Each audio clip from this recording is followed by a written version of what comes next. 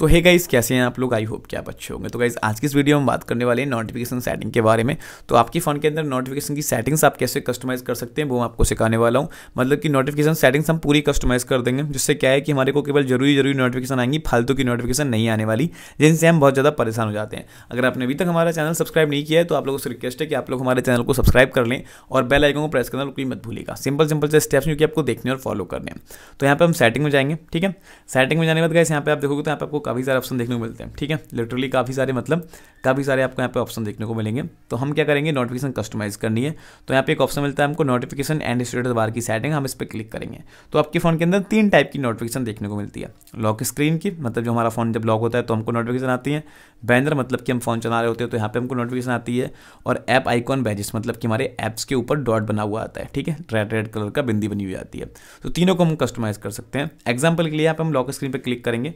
ठीक है? और हम चाहते हैं कि गाइस हमको यहाँ पे सिंपल तरीके से जो हमारी नोटिफिकेशन है लॉक स्क्रीन पे वो शो हो। तो अभी हमने क्लिक करके रखा है डू नॉट शो पे। मतलब कि हमको कोई भी नोटिफिकेशन यहाँ पे आएगी नहीं। तो यहाँ पे हम अगर क्लिक कर दें so app notification and content मतलब हमको नोटिफिकेशन भी दिखेगी और कंटेंट भी दिखेगा कि कंटेंट में हमको हेलो हाई दिख रहा है, क्या दिख रहा है। ठीक है? हम इस पर क्लिक कर देंगे। अगर हम चाहते हैं अब कि हमको जो है नोटिफिकेशन जो है इस तरीके से एग्ज़ाम्पल के लिए फ़ोटोज़ की नोटिफिकेशन आए तो हम इसको ऑफ़ कर देंगे। तो लॉक स्क्रीन पर हमको बाकी सारी एप्लीकेशन की नोटिफिकेशन आएगी बट फ़ोटोज़ की नहीं आएगी ओके इसके बाद सेम चीज़ वैनर क्लिक कर सकते हैं, जिस चीज़ की नोटिफिकेशन नहीं चाहिए, जैसे कि गाइस हम नहीं चाहते कि हमको ड्राइव की नोटिफिकेशन आए तो हम इसको कैंसिल कर देंगे ओके तो इसी तरीके से गाइस आप ऐप आइकन को भी चेंज कर पाओगे। बट गाइस यहाँ पे आप देखोगे तो आपको एक ऑप्शन मिलता है, यहाँ पे ऐप नोटिफिकेशन की। आप चाहते ही हैं कि किसी की भी नोटिफिकेशन आपको किसी भी टाइप से ना आए तो आप इसको ऑफ़ कर देंगे।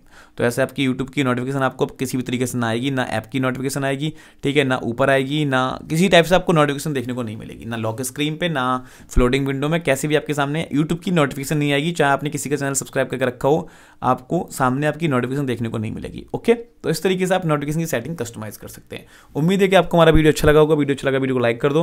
चैनल अगर आपने सब्सक्राइब नहीं किया तो चैनल को सब्सक्राइब कर दो। तो हम मिलते हैं आपसे किसी अगली और इंटरेस्टिंग वीडियो में। तब तक के लिए बाय एंड टेक केयर